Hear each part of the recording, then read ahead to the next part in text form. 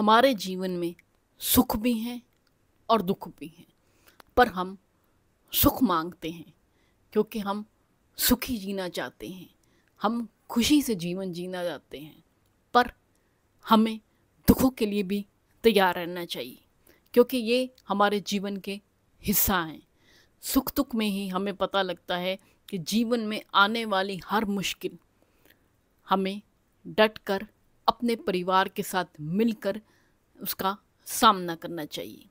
क्योंकि अगर हमें कोई दुख आता है तो हम अपने परिवार के साथ मिलकर उस दुख का सामना करेंगे तो जल्द से जल्द वो दुख कट जाता है।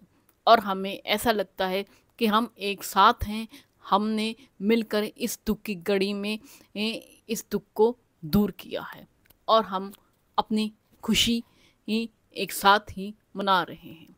हम सुख में भी एक साथ होते हैं और हम दुख में भी एक साथ होते हैं। क्योंकि हमें ये भरोसा होता है, हमारे अपने ही होते हैं, जो दुख सुख में हमारे साथ खड़े होते हैं। कोई दूसरा नहीं होता जो हमारी दुख की घड़ी में हमारे साथ खड़ा हो, जो हमारी परेशानी को समझ सके और हमारी मुश्किल का हल निकाल सके। अपने ही होते हैं जो हमारी दुख की घड़ी में हमारे साथ होते हैं, जिन्हें पता होता है कि हमारे परिवार में इस वक्त मुश्किल है, दुख की घड़ी है। अगर हम एक साथ मिलकर खड़े होंगे तो ये घड़ी भी जल्द से जल्द कट जाएगी। हमें ये नहीं सोचना चाहिए कि मेरे जीवन में कभी सुख नहीं आया, दुख ही दुख है, मुझे ऐसे जीवन का कोई फ़ायदा नहीं। नहीं, बल्कि हमें ऐसी सोच रखनी चाहिए, अगर हमारे जीवन में दुख आया है तो हमें उसका डट कर सामना करना चाहिए। बल्कि निराश होकर बैठना ही चाहिए, बल्कि हमें उस परिस्थिति का सामना करना चाहिए जो हमारे सामने बनी है, जो सिचुएशन मुश्किल है, उसे हमें जल्द से जल्द उसका हल करना चाहिए। वो हमारे अपने ही कर सकते हैं और दूसरा कोई नहीं।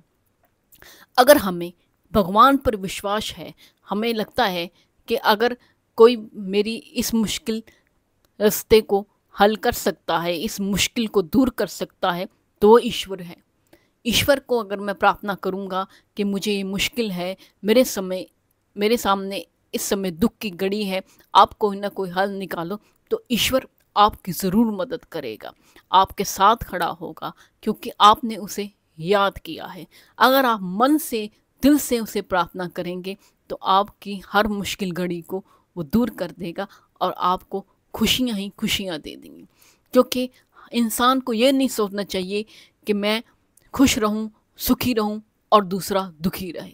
नहीं, आप ये सोचें कि सब सुखी रहें, सब अब खुश रहें और अपने परिवारों में हँसते खेलते रहें। आप अगर दूसरों के लिए ऐसा मांगोगे तो आपको भी खुशियाँ मिलेंगी और सुख मिलेंगे। अगर आप दूसरों के लिए दुख मांगोगे और अपने लिए खुशियाँ मांगोगे तो ऐसे नहीं होता, क्योंकि सबको बराबर ही मिलता है। अगर आपको, आपके सम, आपके घर में कोई दुख आता है, आपके परिवार में कोई मुश्किल घड़ी आती है तो आप भगवान से दुआ करते हो, भगवान हमारी दुख की घड़ी में हमारे साथ हो, आप हमारी मुश्किल का हल निकालो। और ईश्वर भी आपकी तभी मदद करता है जब आप सबका भला मांगते हो, सबकी खुशी मांगते हो और ये अपनी प्रार्थना करें, हे भगवान, सब खुश हो, सबके परिवारों में खुशी हो, सुखी हो अच्छा जीवन जीते हों।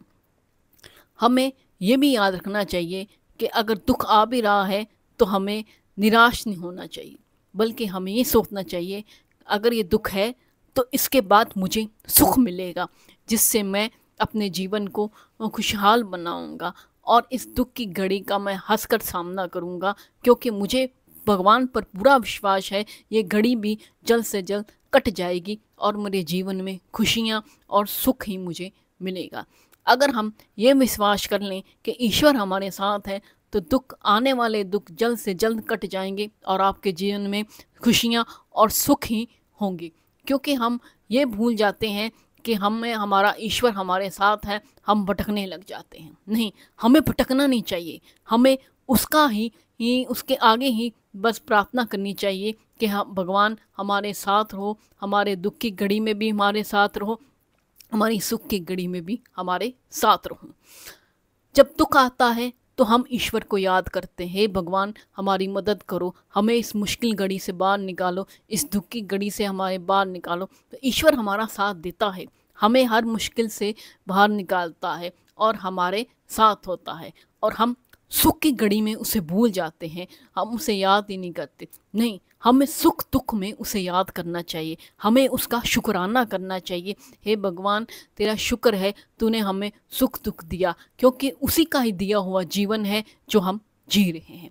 हमें ये भी याद रखना चाहिए कि भगवान ने ही हमें सुख दुख दिए हैं और वही ही हमारे साथ होता है। हमारी मुश्किल घड़ी में भी हमारे साथ होता है और सुख की घड़ी में भी हमारे साथ होता है। हम पर कोई मुश्किल आती है तो वही ही हमारे साथ होता है और उस मुश्किल घड़ी को काटता है। अगर हम अपनी सोच ऐसे बना लें कि सुख दुख ही हमारे जीवन के साथ हैं तो हम हर परिस्थिति के साथ डट कर सामना कर सकते हैं। मुश्किल समय में भी हम हम एक दूसरे के साथ खड़े हो सकते हैं। हर मुश्किल का हल हम ढूंढ सकते हैं। हम सुख में भी एक साथ रहेंगे और हर खुशी एक साथ मनाएँगे और हर सुख दुख में एक दूसरे का साथ देंगे। ऐसी सोच रखो तो आपके जीवन में खुशियाँ होंगी, सुख होंगे, दुख नहीं होंगे। वीडियो अच्छा लगा हो तो लाइक करें, कमेंट करें, शेयर करें चैनल को सब्सक्राइब करें बेल आइकन को दबाएँ नोटिफिकेशन मिल सके। Thank you.